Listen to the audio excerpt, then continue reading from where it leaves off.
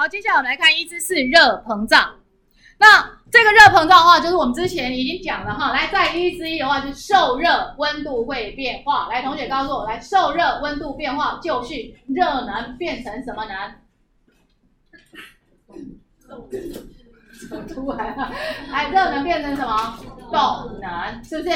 好，第二节讲三态变化，那就是受热产生的状态变化。状态变化就是热能变成什么能？未能。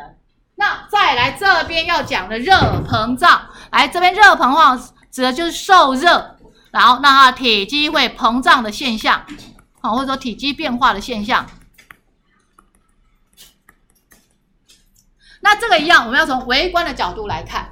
那微观的角度来看是什么呢？因为我们刚刚讲，之所以讲到动能、位能，那指的就是分子的动能，还有分子之间因为作用力的关系、距离的关系，位能不一样。那体积的变化其实也是一样，就因为它分子啊，就微观的角度来看，当你今天受热，温呃这些分子动的比较厉害，那动的比较厉害之后，它们相对距离就会变大。好，但是大家像这，我们之前不是讲吗？来，你们现在每一个人虽然坐在自己的位置上面，可是你那个动的做太厉害，大家就说尤其是前面同学来，他可以动到比较前面来，所以相对距离会变成什么？比较大。那我相对距离比较大，它相对体积就会怎样？就会变大，所以这是热膨胀。从微观的角度来看，好，所以来在下面这边可以先有有一个概念。好，在微观上面第二行，好，对固体加热，分子原子振动的幅度就会变大，所以分子间的距离就会变大。那这样子来在巨观就会看到体积膨胀。那液液体跟气体当然都有这样的现象，那这种就所谓的膨胀现象。那以前的话，你对你来讲，只有只有学热胀冷缩，这样叫定性。那我们现在还要不止定性，还要告诉你到底要膨胀量是多少。好，那你今天如果说你是一个那个，你去盖个铁铁路，或者说你是呃要盖高速公路，那你要建那个桥，大家知道桥就是要留缝。好，那些缝要留多少？好，这些东都要知道。好，那我们先讲固体的膨胀，气体的膨胀要到后面讲。呃，理想气体方程式再来讨论。那这边呃，固体的膨胀，我们把它分三类，就从一维、二维、三维。所以第一个先讲长度的膨胀，来，长度的膨胀指就是线膨胀。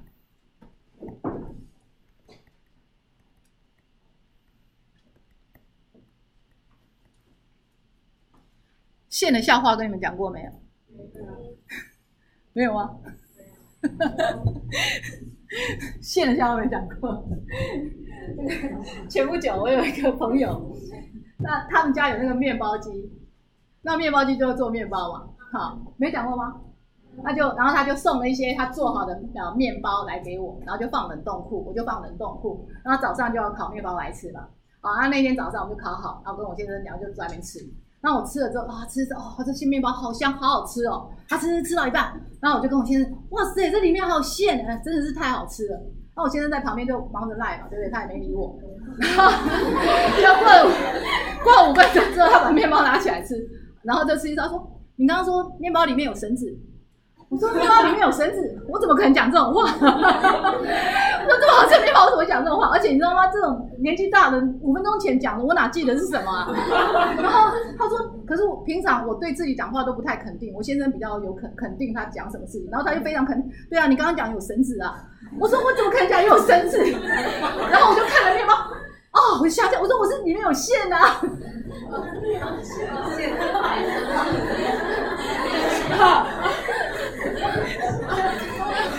这个忙着玩赖的人，他自己会把线跟绳子做什么等号？这样子了解了吧？哈，这跟频率不是停率。嗯，好，OK，好，来我们看看一下，看到线突然想笑。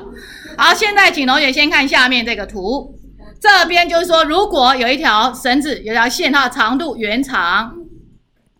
哎，它的原长是 L 零，那么它受热好，如果说上升了 delta T，那么这个是它后来后来的长度。后来的长度的符号我们就叫 L。所以来它的膨胀量 delta L，来这叫做膨胀量。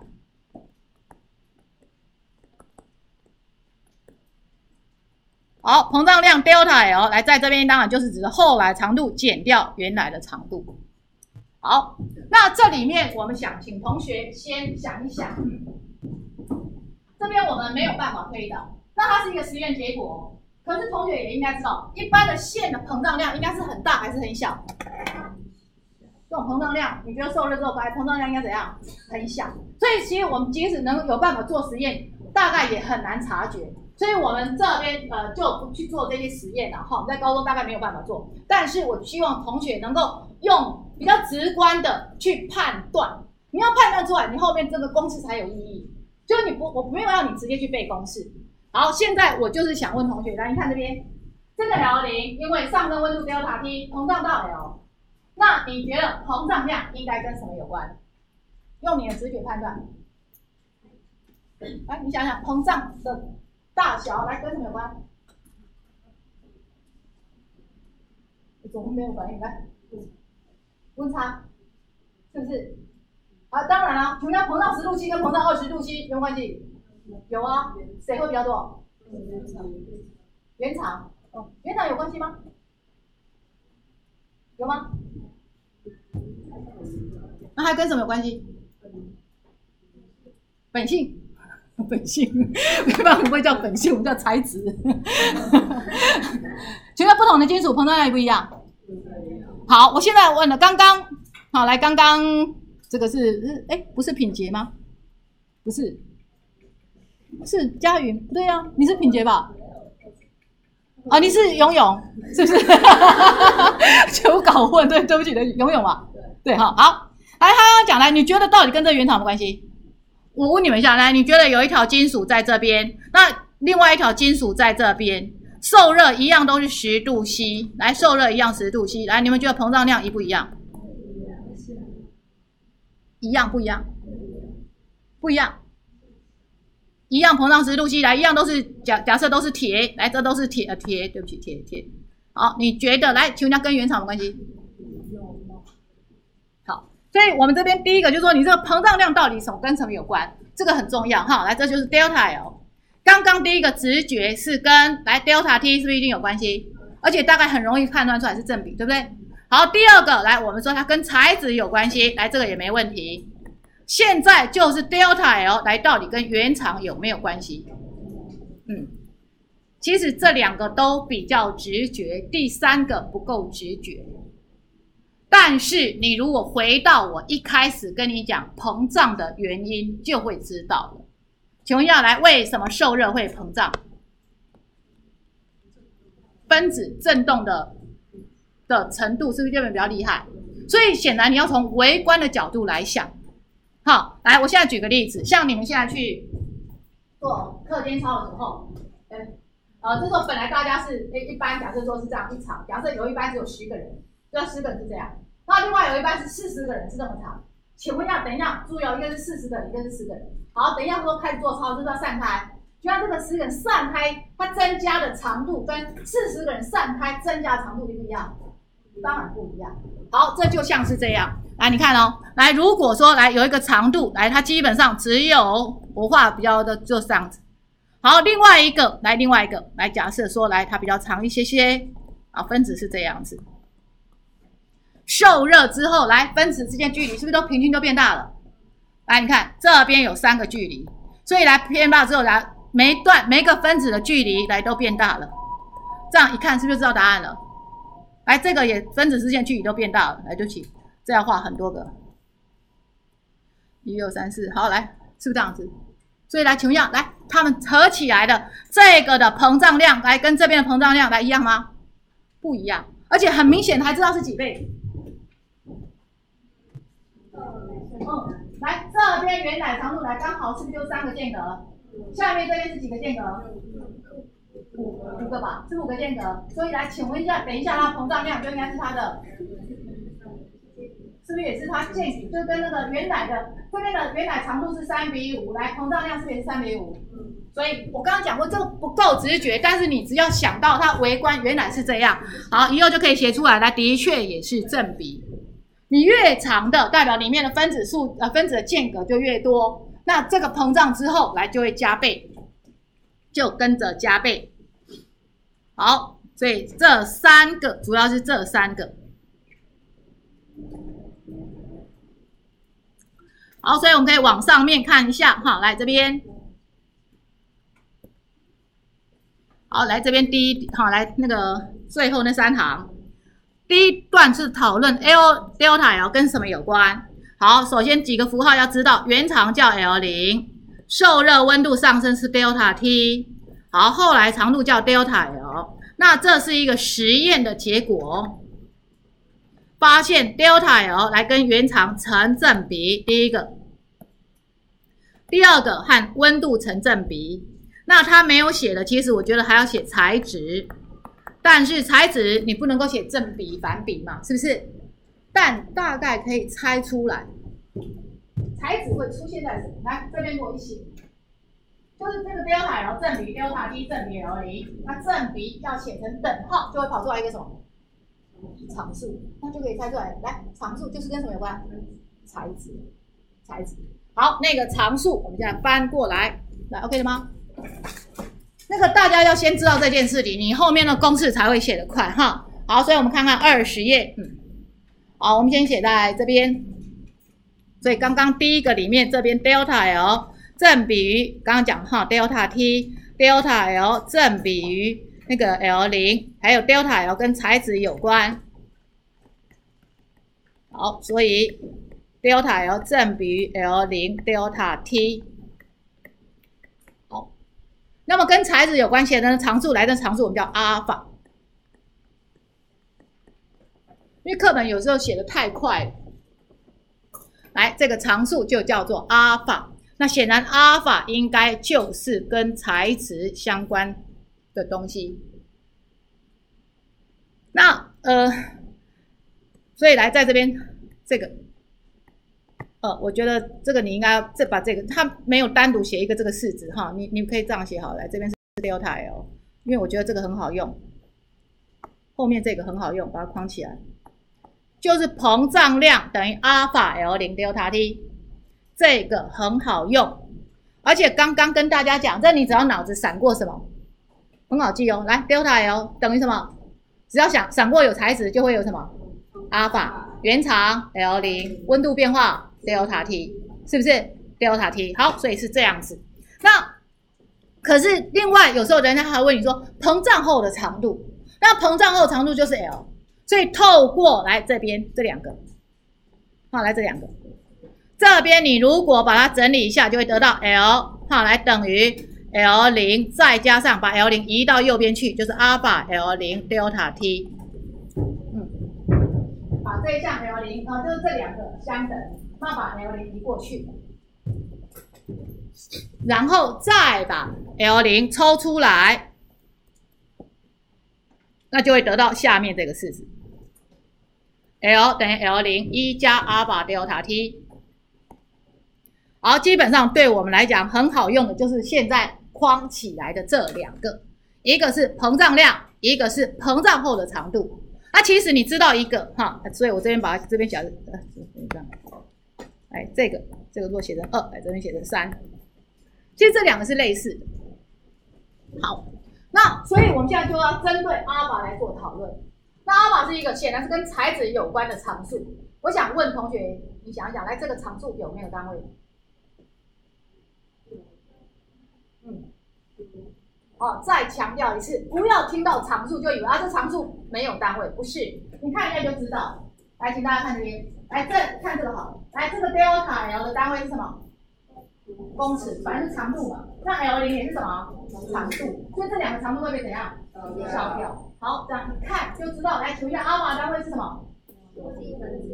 不是秒，T 不是时间，T 是什么？度西。所以是度西的什么？导数。所以来这个要弄清楚。来，嗯。啊，我们刚刚讲过，这个是公尺，这个是度西。好，或其实我们这边有时候要写成或者是 K，然后这边也是公尺。所以阿尔法，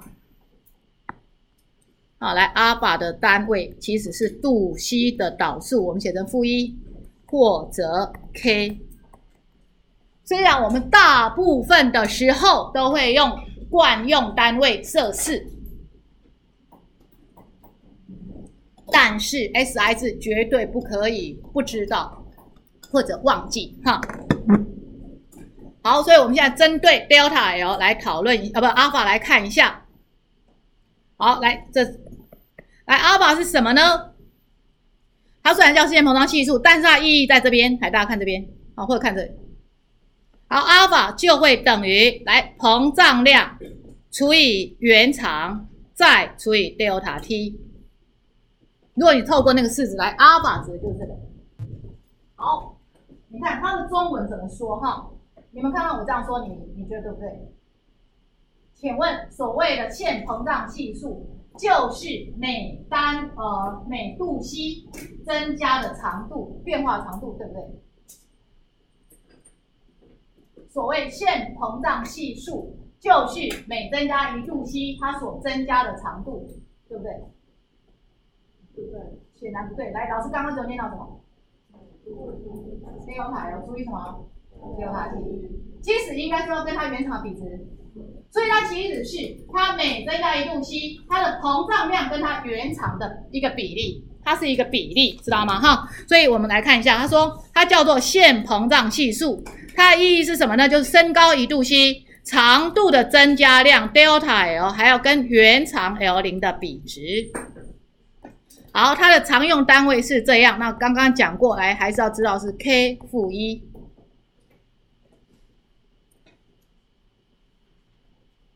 好，另外这个阿尔法，我们刚刚的直觉，来，它显然是不是跟什么有关？有没有？是什么？是不是就材材质嘛？是不是材质？好，那我现在另外一个问题，你觉得不同的温度，同一个材质，来，大家看这边，来，你觉得这根是一根铁棒，对不对？那它在一样是铁，来，请问一下，你觉得它在零度 C 的？这个膨胀系数跟它在八十度 C 的膨胀系数来，你觉得一不一样？对啊，膨胀量不是膨胀量，膨胀量还要跟原厂比值来，你觉得一不一样？嗯，我跟你讲，更正确答案其实应该会有微微的，就像是之前在那边讲，一克的水要变呃，就是升高一度 C 所需要热量，同样在每度 C 其实都有一点点的什么差异。这种膨胀量其实也是一样，它会有微微的什么？差异，但是那个很小很小差异。如果你今天考虑温度差不多就在零到一百，就是我们差不多室温范围讨论的话，请问一下，这个影响其实怎样？可以不用管它，也就是我们暗示来不同温度，我们把热膨胀系数视为什么值？定值，定值。来这边这是一二，来第三点，固体的线膨胀系数阿尔法并非常数，注意哦，其实不是常数，它会随着温度来变化。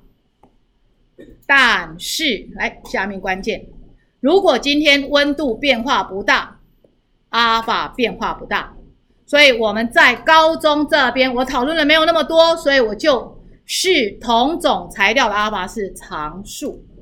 注意，最后结论还是告诉你，我们视为常数。所以以后零度 C 的膨胀系数跟十度 C 的膨胀系数，还有呃三十度 C 的膨胀系数，来等等是一样的。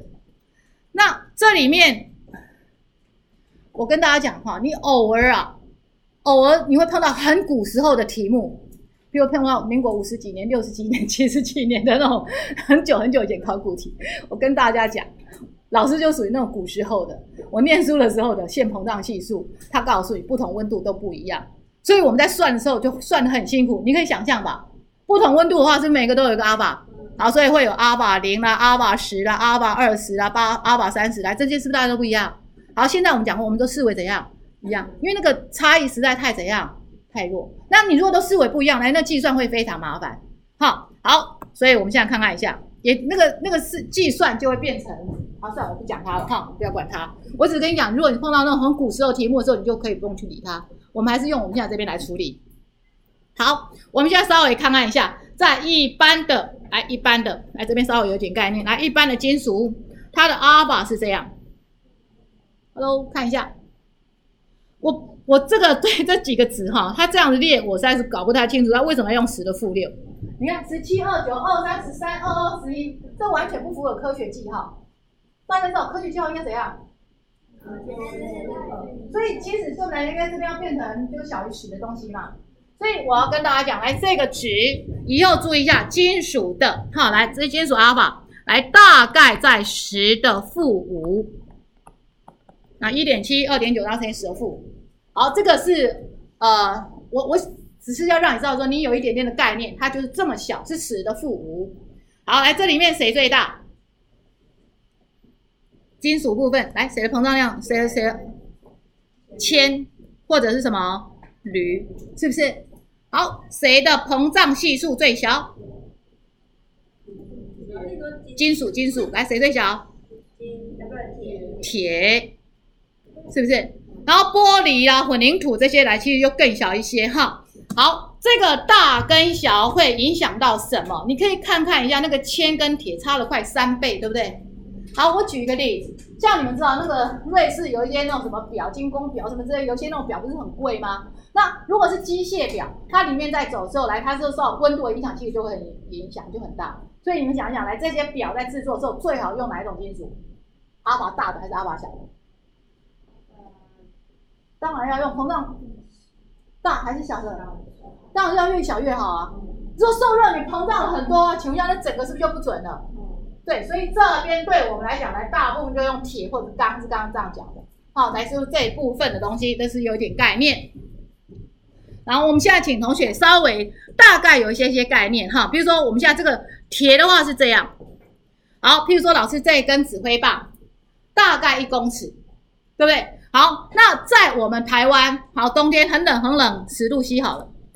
好，夏天很热很热，超过多少？好，没关系。好，假设热到四十好了。好，那我们来看看，来这根金属棒，在最冷的冬天跟最热的最热的那个夏天，来长度差多少？来，记得吗？delta L 等于什么？你就来闪耀哈，材质、原长、温度变化，是不是就记起来了？好，来阿尔法多少？题目里面，大家在表格里面多少？十一乘以十的负六。L 零就是老师刚刚讲，来这支假设四为多少？一公尺，一公尺。好，哦，我把用一百公分好了哈，因为等下可能会比较好算一点。再再呢？好，膨胀多少？三十，对不对？好，那这样算出来多少？哎，三百三再乘以十，哎，对不起，不是不是三百三，这边是多少？三三零零零再乘以十的什么？负六，所以大概零点零什么？我没算错吧？好，其实差异是零点零三三公分，零点三三公里，一公里大小有概念吧？你那个尺的最小刻度是一公里，所以它最小零点哦，它比一公里是它三分之一，所以请问有没有感觉？对我们来讲，当然没有什么感觉，是不是？可是大家知道，这个如果今天越长，它都 L 零越长，膨胀量会跟着什么？越高。那再来，像同学也应该知道，我们虽然常讲这个温度是多少，可是这种铁轨曝晒在阳光下，温度恐怕不是只有，不是只有四十，有时候温度是不是更高？好，所以这时候你要去计算，当你温度变化更多，还有你的 L 零越长，之后来这个是不是更大了？那那时候留了缝隙，哈，所以上次有给大家看这个图，一开始的时候是不是就看过了？哦，记得有吗？来，一开始就看过了。对，来像这样子的图，来就是受热温度太高的时候，那它可能就怎样，就就会扭曲变形了哈。好，所以我们现在来看这里，嗯，来这里又有些概念，来这样 OK 吗？好，第二个问题想问同学，你想一想，来，我今天如果是从冷到这边受热，膨胀这么多，好，可以告诉我，那反过来会收缩吗？你们觉得来收缩量一不一样？嗯，这边哈，如果我们把它膨胀系数视为一样，它其实它就应该是一样。这因为分子的振动才应该是可以怎样重复的。我今天受热来碰到振动到这么厉害，等到冷一点之后来振动幅度是就没那么大。所以这里面暗示大家来这个公式的 delta T 可不可以是负的？可以。好，我们还是把它写一下哈。来第五个，来冷缩。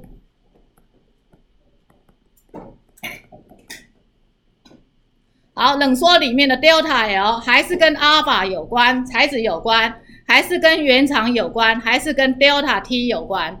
但 delta T 现在是负的，所以 delta L 算出来也是会是负的。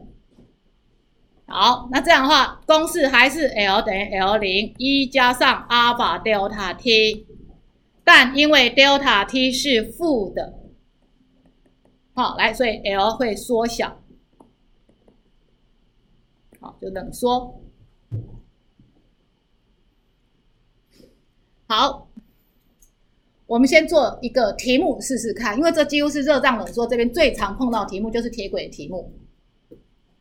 来，OK 吗？好，请同学先跳到二十四页。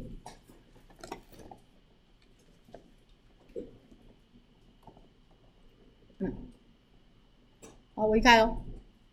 好。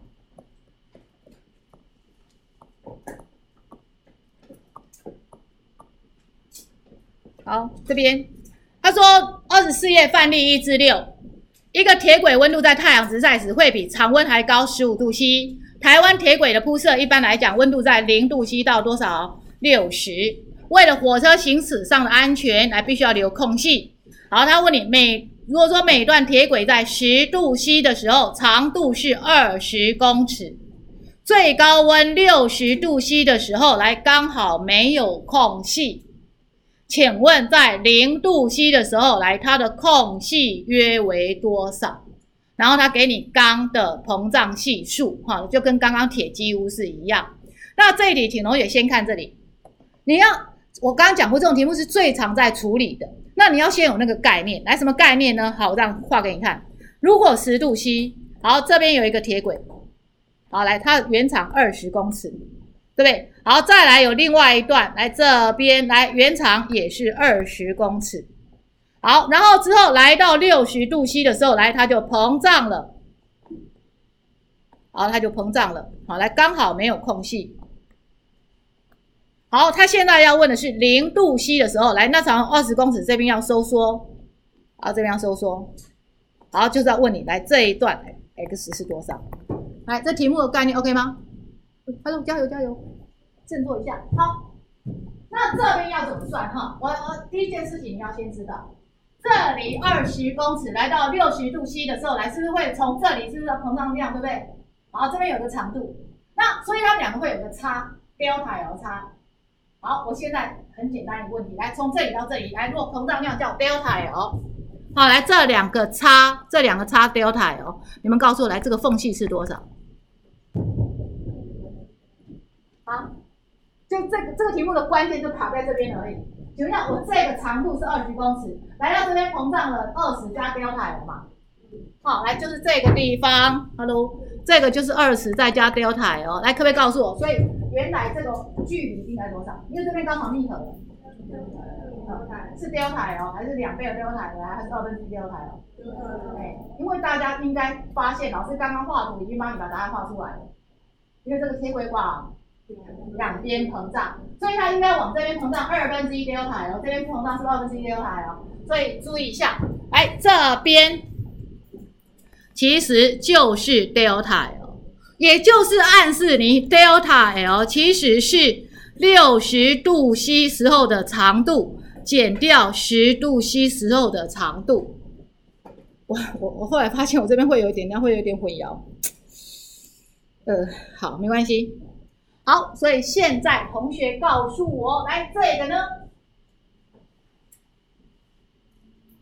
这应该等于什么？其实你很容易可以想啊，来这个这边跟这两个，来你可以反过来，从零度 C 到这边，可不可以这样想？Hello，来，请问要从这里到这里，所以来这 x 其实也是什么？嗯，就是什么？这两个是不是它们膨胀量差？知道膨胀量嘛？是不是？好，或者来刚刚讲，来这边 delta L 就是六十度 C 的长度减掉十度 C 的长度，所以来请问一下，这 x 就等于什么？六十度 C 的长度是不是减掉零度 C 的长度？这有问题？好，所以你图画出来之后，哦，原来我要问的 x 就是 L 六十再减掉 L 零，这零是零度 C 呀。我们。会混淆，因为我刚刚讲，我们现在这边的原始长度是从十度 C 这边来算的，是不是？好，来等一下，来，我们现在写给大家看，嗯，来，x 是等于 L 六十减掉 L 零，零是零度 C，不是那个刚刚公式里面那 L 零。好，那 L 六十怎么表示呢？L 六十应该等于从这里到这边。大家记得公式吗？来，L 等于什么？L 的原始长度。来，对不起哦，原始长度，老师现在把它写成 L 十，好不好？好，来一加上阿尔法 delta t，原始长度就是 L 十十度 C 的时候。好，所以，呃，对了，等一下你就会发现，我们在这边做题目的时候，大家不要急着把什么什么数字带进去，我们都会建议你就先做。啊，把符号题目这样做好。L 六十的话就是 L 十一加上阿尔法乘以五十，有没有？十到六十是不是乘以五十？好，减掉来零度 C 的话，来就是缩了，从十度 C 缩到零度 C，所以来这边就是 L 十一加上阿尔法乘以负十。看式子有没有问题？因为我为什么都要从十？因为题目已知的是十度 C 的长度，是不是？所以我算六十度 C 的长度就是 L 十一加阿尔法乘以五十，然后十零度 C 的长度就是 L 十一加上阿尔法，然后现在是缩，所以是负十。哎，在外面 OK 吗？嗯，好。所以对我们来讲，你这边稍微算一下，大概就会发现。来，对不起哈，来这个 L 十跟这个 L 十会被消掉。是吧？好，来剩下一项是 L 十再乘以阿尔法乘以五十，然后这个负跟后面的负就会变加。嗯，其实算半天，它就是 L 十乘以阿尔法乘以六十。来，它就是 L 十乘以阿尔法乘以六十。那注意哈，你就不要急着算嘛，那算到这边才去代入。好，L 十十度 C 的长度是多少那？是二十公尺。阿尔法是十一乘以十的负六，再乘以六十。好，这样算出来就是零度 C 时候的间隔。好，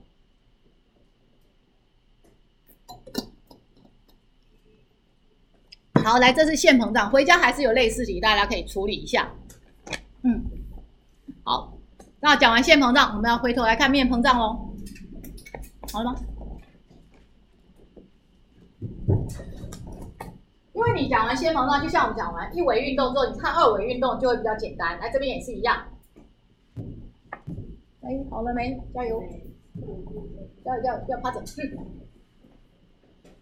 那个剩下自己处处理了，可以吧？好，好来看这边，这边如果是一个面。大家可以想象，来这边就是一堆分子嘛，来分子就这样子排列，是不是？好，分子这样排列，有横的，有直的排列。所以对我来讲，受热之后，来这个横的是不是也会膨胀？直的也会什么膨胀？所以你很简单嘛，我要看面积。那假设这原来长度，这原来长度，原来长度乘起来是不是就是面积？那后来呢，有一个后来的长度跟后来的宽，两个乘起来是不是后来面积？所以我们透过这样就可以讨论面膨胀。好，来翻回去二十页。来，我们看一下二十页。来，它的概念是在这个图里面。二十页这个图，来，原来大家看，来，原厂是 x 啊，来，那一个是 x，一个是 y，所以原来的 a 零，或者它叫做 a 或者 a 零，来 a 零的话就是 x y。后来膨胀，注意一下哈，来后来这一段叫做 x prime，然后后来这一段叫做 y prime，那在这边有，所以后来的面积呢就是 x prime y prime，但是 x prime y prime 分别是什么呢？哎，它不就是一个长度的膨胀吗？所以这个是原长，这是后来长度，那就会符合我们刚刚讲的 L 等于 L 零，然后是一加二把 delta t。好，所以这边的概念在来二十页，我们来看一下。嗯，来在这里第一个，来第好有一个两边边长分别是 x、y 的，那这时候第一个来它的圆面积，原来面积叫 x y。好，第二个，来受热膨胀之后，来呃 x 会变成这个，来这个符合就是它一样会符合这个公式。加油哈，几分钟而已。那 y 也会这样子。好，所以来新的面积，新的面积就是 x prime 乘以 y prime。那这一层两一层就会发现很简单，那这两一层就是 x 乘以 y，然后一加 alpha delta t 的平方嘛。Hello，是不是？那这是一个平方，所以我们平方做来就会变这样：一加二 alpha delta t 再加阿尔法平方 delta t 平方。好，来注意。这边有一个近视，还有什么近视呢？我们刚才已经告诉大家，来，一般来讲，阿尔法很怎样？很小，是十的负五。请问平方之后更小了嘛？所以其实很多时候，来这个我们是可以把它忽略的，好，来可以把它忽略的。好，但是呃这样子还不够，我觉得课本哈。只有讲到这边，它后面跳的太快，所以我现在还要再补一个。好，来，你给它写到下面来，再来。但是我们也可以从另外一个角度来讨论。刚刚是从两个的线膨胀来讨论。好，现在请同学来想，如果我现在一样来有一个面积在这边，原来是 A 零。好，我受热之后 delta T 来膨胀成这样子，叫做 A。对不对？好，我的膨胀量一样叫 delta A。好，我们可以用跟刚刚一模一样的讲法，大家直觉告诉我，来，你觉得 delta A 跟什么有关？材质也跟什么有关？温度变化，还也应该跟面积，是不是原面积？所以你很容易可以想出来，delta A 应该正比于 A 零，delta A 正比于什么？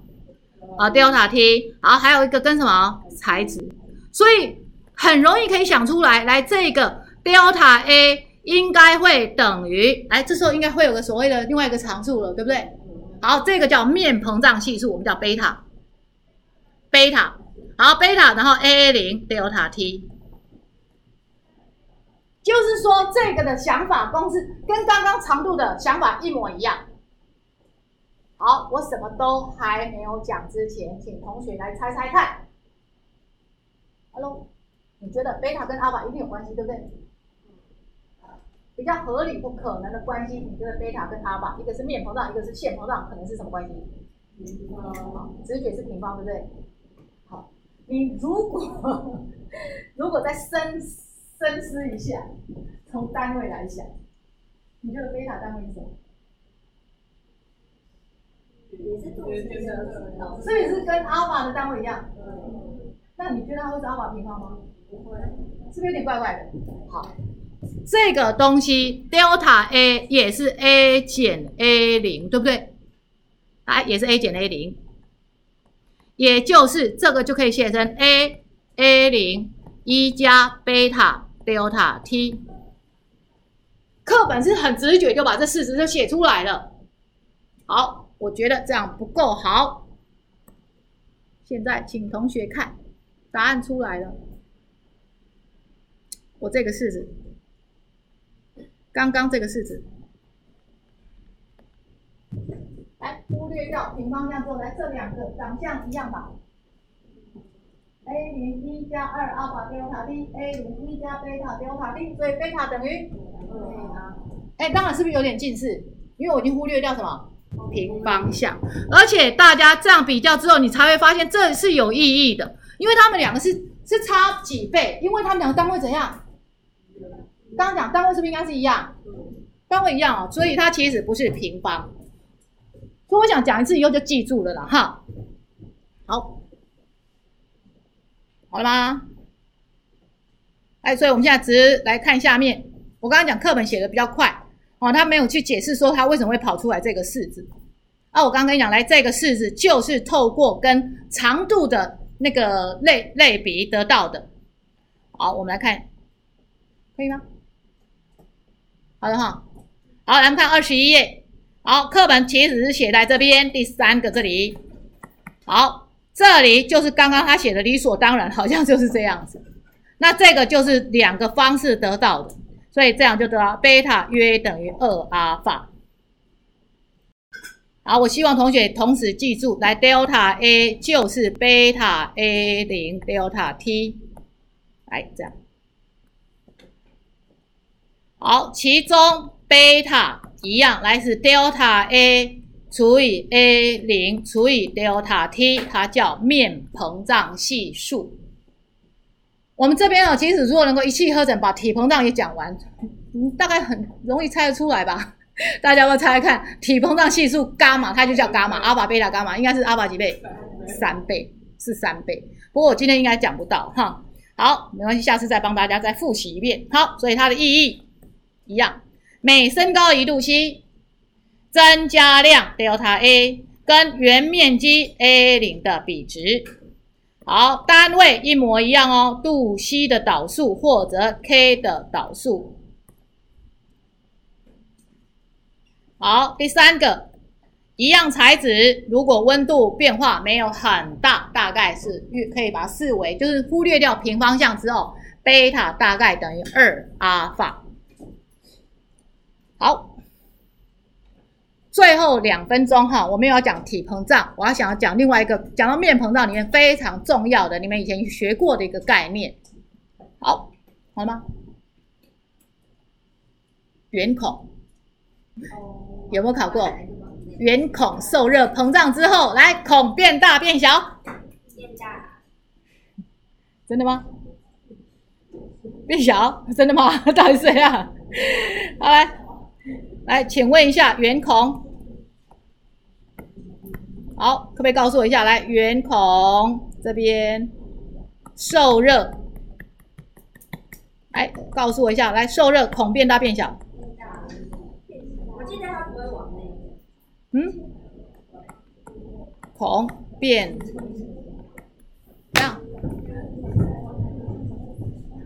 这个如果哈，以前老师没有跟你那样子呃讲话，因为有些人想法对要膨胀嘛，对，所以外的往外，而内往内的，所以就会觉得会变小。你现在如果知道分用分子的微观的角度来看，就知道不可能变小。来，我们就讲讲，来这边来，它都应该要有一些分子，对不对？我们刚刚跟大家讲，受热之后分子间距离一定是怎样变大？它如果变小的话，就代表它是不属于平衡状态。那大家想一想，我这边距离要变大，所以我只能够往哪边膨胀？往外膨胀，一定是往外膨胀。好，往外膨胀，所以它是变大。但是我们现在到高中，不是只要知道变大，我还要问你，请它变大多少？就是它应该怎样子算？要怎么算？啊？圆是吧？圆周面膨胀，还要用谁的阿法？就是你有一个面，是用这个吗？这是假设这是金属，是用这个阿法吗？这个孔的膨胀量，你觉得是怎样？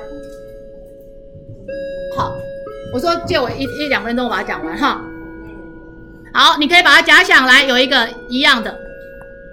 好，但是它全部是实心。好，这时候如果我用一个什么东西的来把它锯开，好，来锯开，好，锯开跟刚刚的缝来一模一样，跟这个孔来一模一样，所以也就是旁边刚刚这些分子来就一样，是不是？好，那同学来告诉我一下，所以现在这个这个实心的部分，这两个分成两部分，来一个就是 A，来一个就是 A，一个是 B。大家可以发现，来这个 B 是不是就是这个圆孔？好，那你可以想象，这个等一下整个膨胀，整个膨胀，请问一下，A 跟 B 会不会分开？它是同一个材质嘛？来，是不是就这样子均匀膨胀？那所以可以知道了吗？这个 A 部分不就是刚刚孔的部分？所以来孔部分跟 A 怎样一模一样？所以孔的膨胀跟外面，如果说这里面填满跟它一样材质的时候，来膨胀又是一模一样。可是可不可以说外面是铁，那我里面啊这边用这个 A 部分来用铜，怎么样？这样子会一样吗？当然是就不一样。所以来讲了半天，就是空心的膨胀跟什么实心的膨胀怎样？一样。可以理解吗？就是透过这样子图来告诉你。所以我们可以写下来，中空部分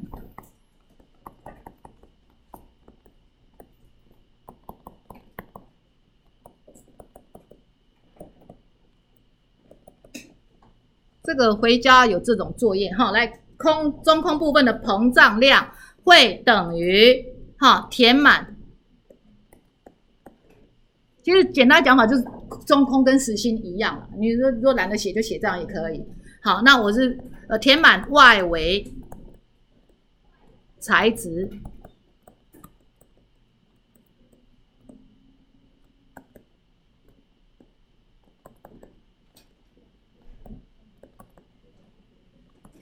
就讲了半天，来这个这个东西是圆孔还是实心？其实膨胀量是一样的，哈，还是一样的。来，我们的作业范例部分，唉，没有办法讲完。好，一二四五，好，实力养成，一之一的那边就把它写完了。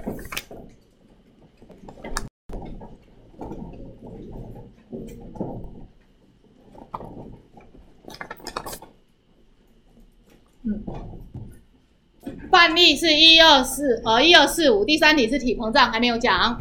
那实力部分的话，就是一实力养成就是一至三到一至七页，就是那个一至一那边的。好嘞，我们自己就先下课了。